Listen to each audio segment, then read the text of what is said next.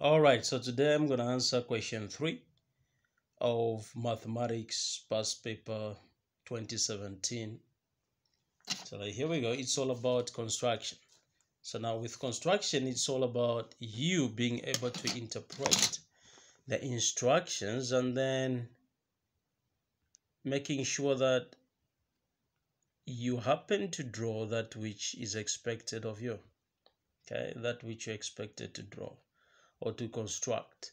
So now the first one, the first set of instructions read construct a quadrilateral ABCD in which AB is equal to 10 centimeters. So now that line AB is actually the base line of the quadrilateral. So you need to know that a quadrilateral the quadrilateral, quadrilateral is actually a, a four-sided polygon. So now here we go. We uh, we need to take on the first instruction that is drawing of the line AB. So now for you to draw the line AB, what you need to do is uh, you need to to to pick your rule and then you see the rule has two sides. There's one side which is actually demarcated in uh, inches. So this side is demarcated in inches and the other side is demarcated in centimeters. So we are making use of the side which is demarcated in centimeters. So now when you are taking measurements, you need to start from zero. So zero and the saying line AB is equal to centimeters. So 10 is here. Uh, so I'm going to draw the line AB the line AB. So here we go.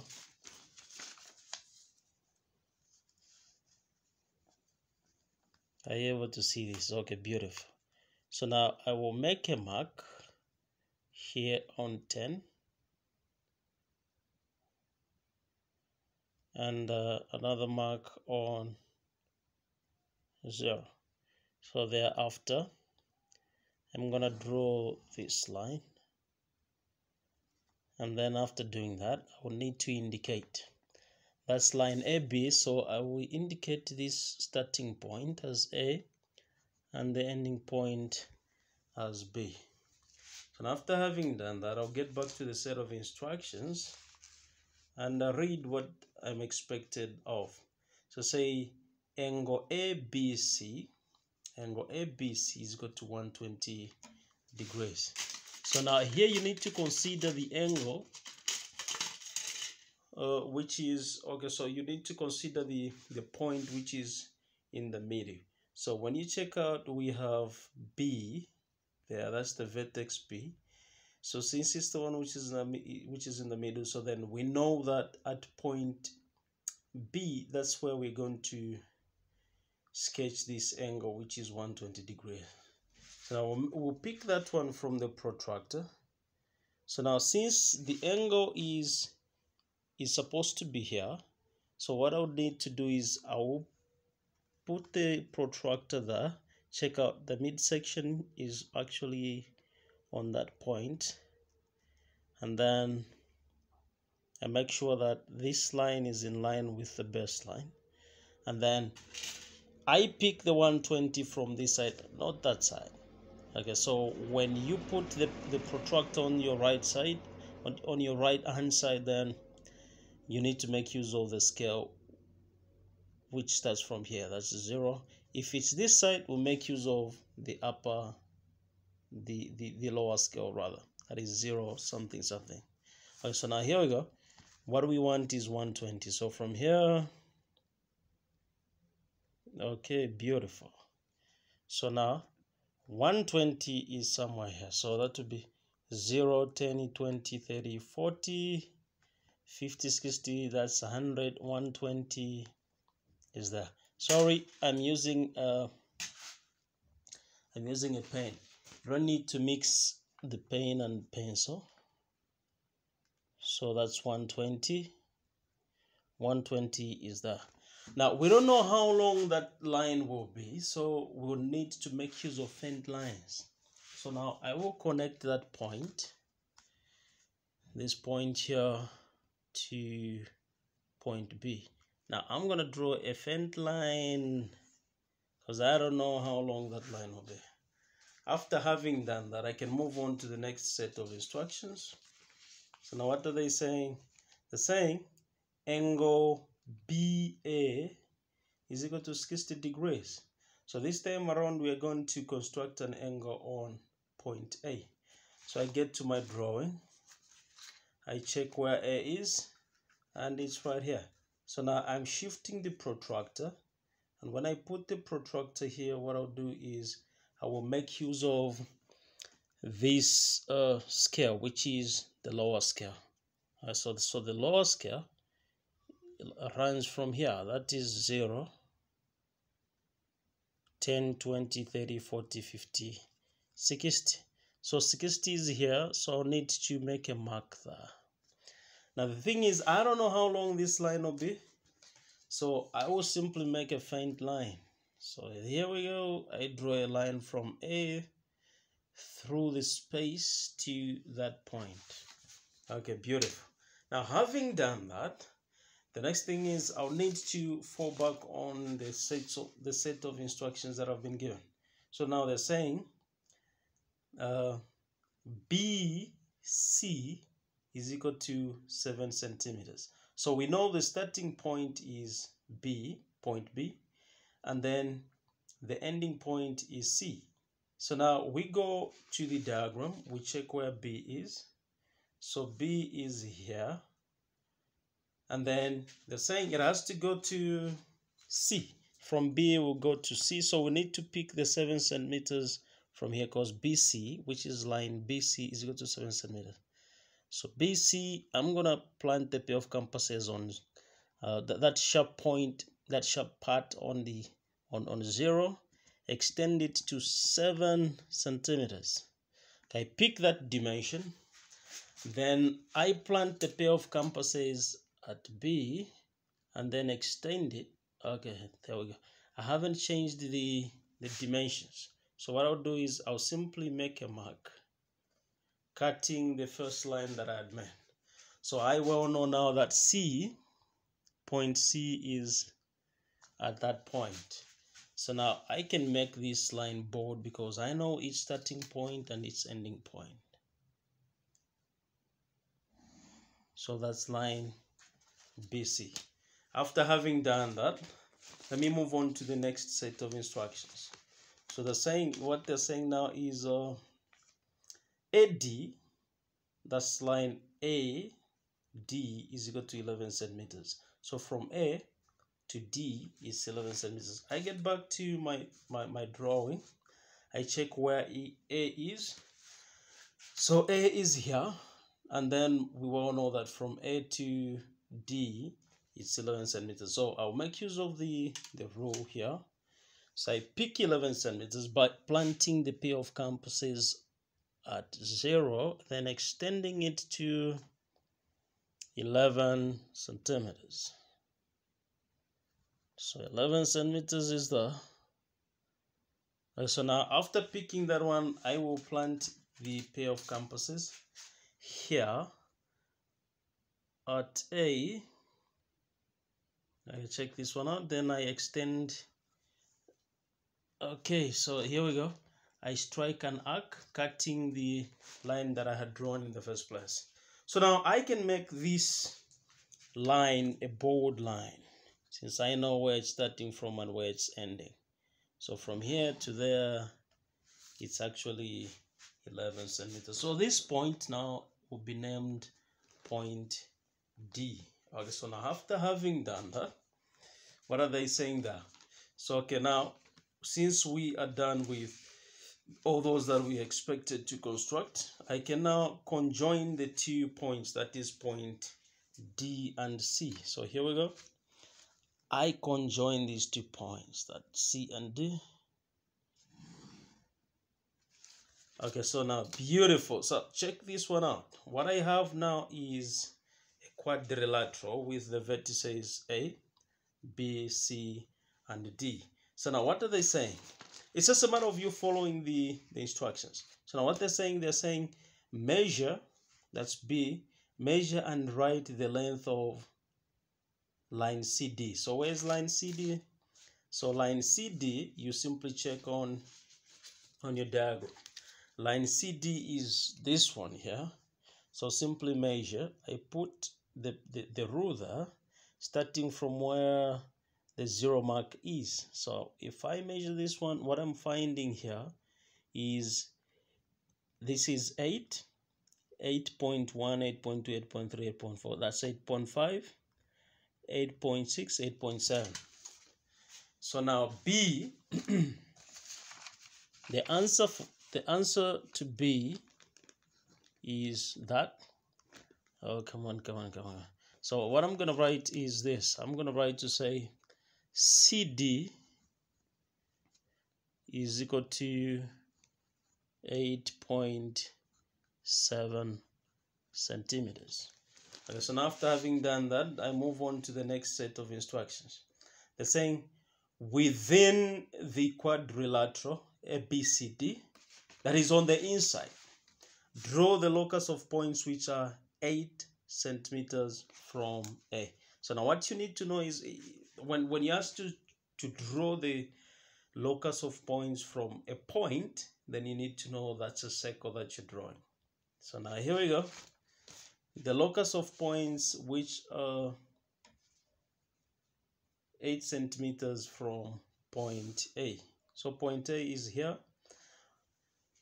So what I will do is uh, I will draw I'll simply pick 8 centimeters first of all from here. After picking 8 centimeters, I'll need to draw the locus of points. So the locus uh, is simply the path taken by a point uh, given a particular condition. So I will draw within, I'll draw the locus of points within the quadrilateral Okay, so beautiful. That's the wonder. So after having done that, let's move on to the next set of instructions. So now they're saying, draw the locus of points which are, that's number two, equidistant from BC and CD. So those are two lines. BC is the line with the point B as the starting point, then C the ending point, then line C and D. Let's check. Line line BC on our diagram is this one here. Line BC and then line CD is that one there. So now when you check out they're saying line BC and CD line BC and CD now when you see that you need to know that you you you, have to check for the common vertex which is C. So this one is a is, is actually an angle bisector. So what I'll do is I will bisect angle C. So angle C is this angle which is actually on the inside opposite the vertex C. So how do you bisect an angle? This is how you bisect an angle. You open the pair of compasses to any dimension and then you plant the sharp point on that vertex. Then you strike an arc. Okay beautiful. You strike an arc. Oh jesus okay. After you've you've stricken an arc remember this arc ought to be a faint so then from there i shift the pair of compasses to that point I strike an arc, I shift the pair of compasses, plant it on that other end, I strike an arc. Now check this one out. There is this meeting point of these two arcs. This point here, the point where the two arcs are meeting. That's where the line will pass when I draw it. So I'll need to draw this line within the quadrilateral. Now check this one out.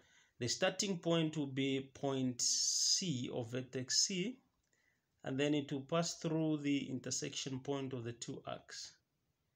So here we go. Check this one out. You have to give it a short see if it will really, really pass through intersection point. So let me move this so that you're able to see clearly what I'm doing. Okay, beautiful. So now since they're saying it has to be drawn within the quadrilateral, so we need to know where it's starting from and where to end. So that's more like a confinement. So we start from, we are starting from this point here and then it will end here. So let me draw this line. Okay, there we go. So that's it. That's it. That's how we go about it. That's how, that's how we go about it. Let's read the other instructions. Let's read the other instructions. So now, what are they saying in the other instructions? What they're saying is this. Okay, so now in the in the other instructions they're saying a point P within the quadrilateral ABCD is such that it is 8 centimeters from A. So we well know that this locus of points we had drawn is actually 8 centimeters from A. So we know the confinement of uh, that point they're describing here is within this range. Okay, so they're saying a point P is within the quadrilateral ABCD is such that it is 8 centimeters from A and equidistant from BC and CD. Equidistant from BC, so the line BC is this one and CD. So meaning this line here determines where it's gonna be. Okay, so now let's read on. And then they're saying label point P. Uh, label point P. AP, a point P within the quadrilateral ABC is such that it is 8 centimeters from A and equidistant from BC and uh, equidistant from BC and CD. Is equal in distance from BC and CD. Can label that point. So now, where is it gonna be? I'm gonna give you time to figure out where we are going to to to to, to label that point. Let me even place the paper here. Uh, okay.